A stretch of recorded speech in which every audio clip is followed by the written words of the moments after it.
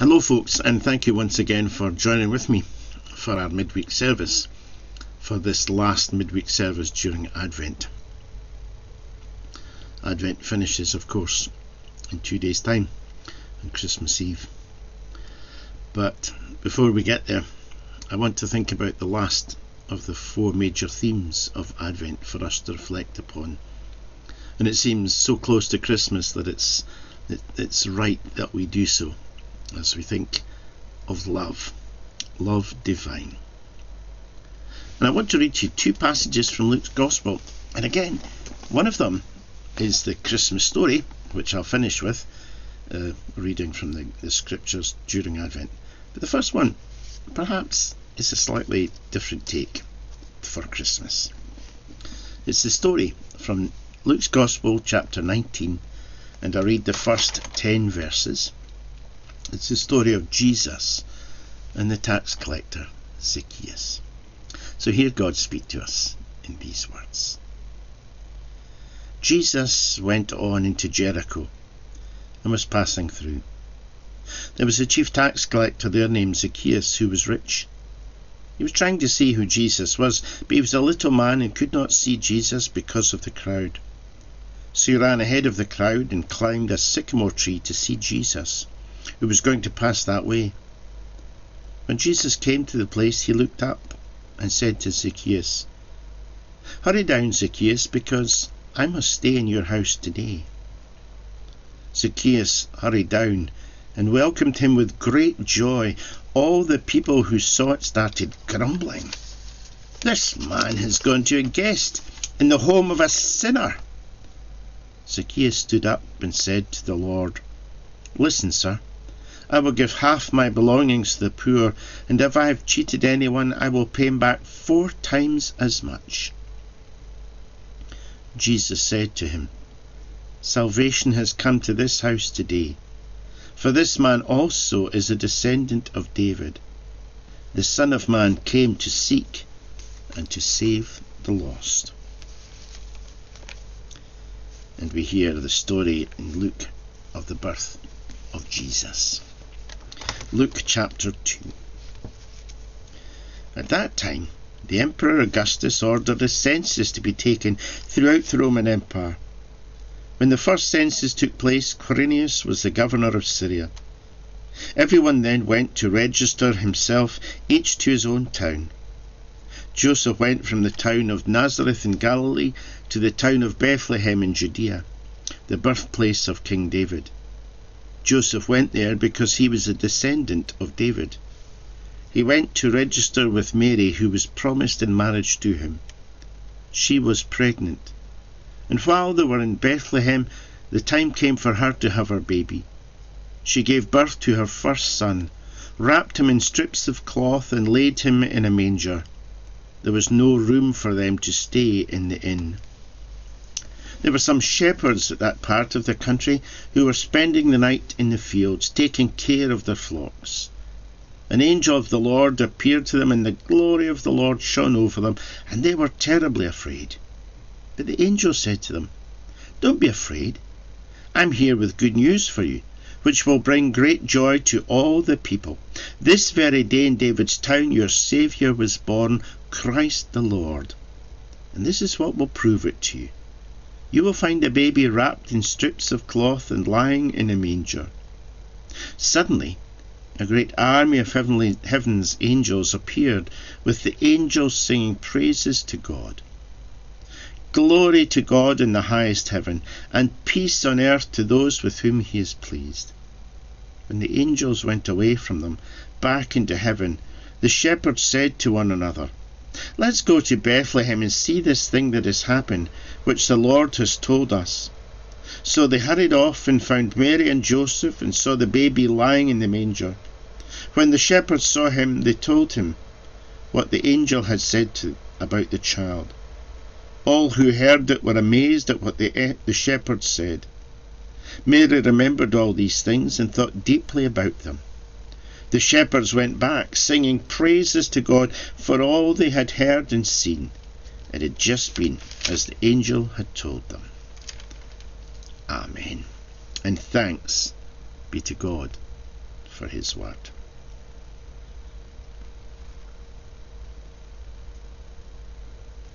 I just love that story of the angels visiting the shepherds. I love it because the shepherds are not the most upright people, not the most possibly religious people. They're ordinary folk like you and me, working away when they're first to be told that the Saviour has come. And they were told to go and see the Saviour. And it's it's a touching story, but while I'm thinking of that and it fills me with, with joy in my heart, then thinking of that that scene. It's maybe not a scene that we think very much about Christmas.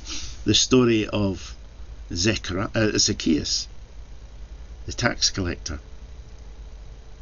I read that one partly because, again, that story fills me with hope because it shows God's love for us.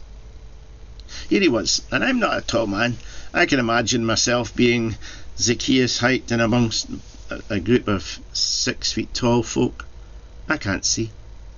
When I conduct a wedding in Monymusk Church, I have to stand on the two steps above the chancel and have the bride and groom stand at the lower steps so that people can see me uh, and hear me, so that the, fam- the, the, the bride and groom are not blocking me. Poor Zacchaeus. He heard about Jesus. He wanted to see him. You can just imagine him trying to get through the crowds to the front and nobody is going to help him. They'll lock arms. You're not getting there. So he runs and he climbs a tree so he can just see Jesus. He just wanted to see Jesus. You know, Zacchaeus was a tax collector. And tax collectors, they weren't collecting taxes for the Jewish authorities, they worked for the Roman authorities, the occupying forces. You can imagine just what it would have been like with collaborators in the time of any war. They would have been seen as collaborators, and worse than that, they were cheating their own people because very often the tax collectors, maybe let's say they had to gather five pounds, they would take five pounds for the Romans, but they'd take a pound or two for themselves and put it in their own back pocket so that they had a good life. They cheated people using the power that the Romans gave them. Jesus came along the street and he knew Zacchaeus was there. And he looked up and, full of compassion, he changed his life. Because you see, that to me is the Christmas story. Jesus came to earth, Emmanuel, God with us. He came to us as we are. He came to us as flawed and failed and mistaken people carrying a burden of sin on our ourselves. He came to heaven for you and for me, people like that. Not some picture perfect version of us, not for some holier than thou us. He came for us, to us, sorry, He came to earth for us as we are, because He loves us. And if that doesn't fill your hearts with hope and joy and light this Christmas and for eternity, nothing will. He loves you as you, He loves me as me. And sure, He wants us all to try to be better parts of ourselves, but He doesn't want us to be all made up before we can come to Him. He sees us as we are. He knows each of us intimately, all our flaws, our failings, and yes, our successes. That's love. That's the love divine that came. Love came down at Christmas. Love all lovely. Love came down at Christmas. Love for you and for me, so that he could live his life and die his death and pay the penalty for our faults and feelings, which he accepted as he accepted us. And what does he want in return? Yes, for us to try better, but more, for us to love Him more. Do we receive Christ this Christmas? Not a baby in a manger that we can worship in church, that we can sing some well known carols, but we receive him forever in our hearts. Shall we pray? God, your love is supernatural. It's beyond our comprehension. We don't fully understand it, but we know that you came down in love for us. And in love, you lived your life. You taught us how we should live. And you died your death. It was our sins that nailed your hands to the cross. It was our sins that led you there and we lay them now at the foot of your cross, knowing that you forgive us because you love us. Lord, there are times in the darkness of night or in the darkness of sadness or hurt, or when we have done something that we feel is horrible, that we think, how can you love us? But it's in these times you love us more it's in these times that you want to put your arms around us and hug us and care for us. And to lift us from the darkness. And to give us another chance. Like Zacchaeus, who lived perhaps not the most perfect life, but whose life was changed as you reached your hand out to that tree and said, Come down. I'm going to have my tea with you. Come into us dwell with us.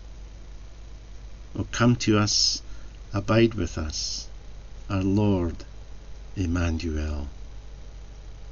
So, Lord, as this Advent season comes to a close and we get nearer to celebrating Christmas, fill our hearts with the Advent journey of hope, of peace, of joy, and of love. And may we share these with others.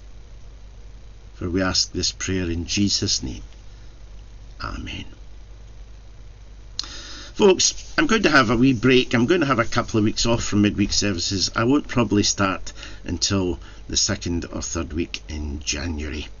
Uh, I'm needing a wee rest after all of the Christmas exertions. It's an age thing, I think. Never mind. So I will pick up the the, the midweek services sometime in January. Just look look for it. I'll give plenty warning. But thank you for having joined with me for the course of this last three or four months as we've been doing the midweek services and especially over Advent. I do hope that you have a wonderful Christmas when it comes and that you may experience the joy, the peace and wonder that is the coming of our Saviour and as we prepare all ourselves for his coming again. So now, go in peace. And may the blessing of God, the Father, the Son, and the Holy Spirit be with you and those you love, today and always. Amen. Take care of yourself and take care of others. And thanks for watching. Bye bye.